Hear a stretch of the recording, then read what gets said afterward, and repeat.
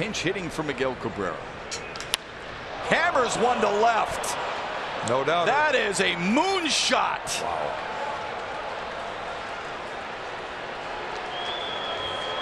Still feeling it, I guess, huh, from last night?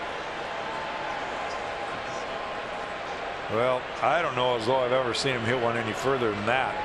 That ball was up, going to go over the train on the tracks. It hit the big light pole that holds up the lights here at Minute Maid. The one-two, launched to left, and that ball is home run. Home run! It snuck inside the foul pole for a three-run blast. How about that?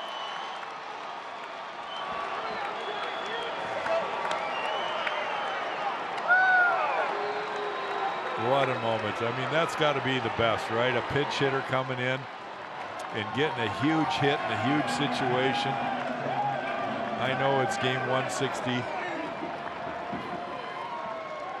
And the Tigers are too many games out to even think about it, but it's still a, a good moment for the guys in the dugout right now. A second game of a doubleheader. It's been a long day of baseball, and they come through with a big hit right there.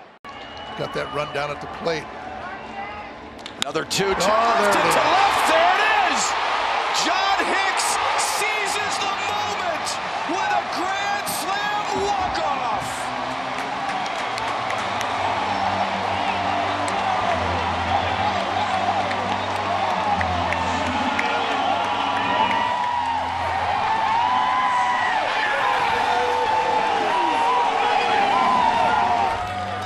the first one right there.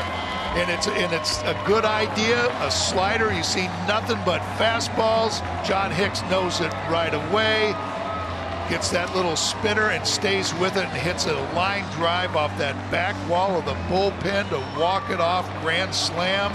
What a way to end the game. Not a sacrifice fly, anything like that. What a great moment and a great victory for the Tigers. Two away from Matt Olson. A line drive snared by John Hicks. That saved a run. Tigers lead at 3-1. Three catchers on the roster, three and a half even. 2 2 pitch. This ball hit well, deep out to left field. That is a no doubter. It is gone. And there's that power that CJ was just mentioning. John Hicks with his first home run as a Ranger. It's 5 0.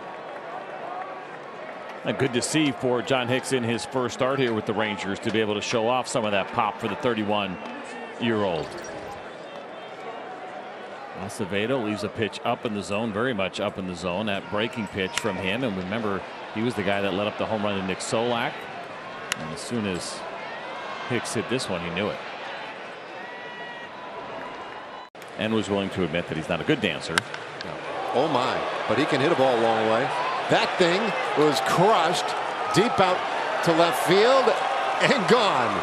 Pretty sure, but I never saw it. I'm not sure anybody else did either. And that was crushed by John Hicks. Rangers get that first run of the game. It's 1 nothing.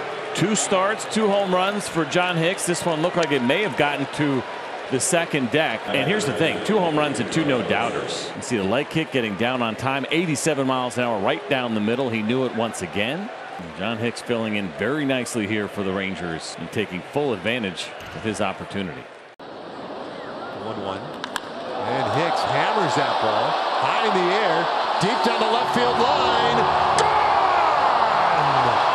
Whoa! And was a slider that was meant to go down and away. It was left up and in, and my goodness, what an absolute bomb